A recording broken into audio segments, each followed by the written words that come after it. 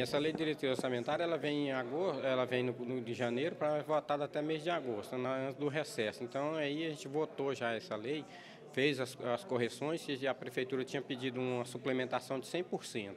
Aí a gente viu lá e fizemos uma emenda modificativa no projeto de lei, dando uma suplementação de até 20%, porque depois, se a prefeita precisar, seja projeto de lei, seja projeto específico. Então a gente foi bastante tranquila, a comissão de, de finanças fez a emenda e foi acatada por todos os vereadores.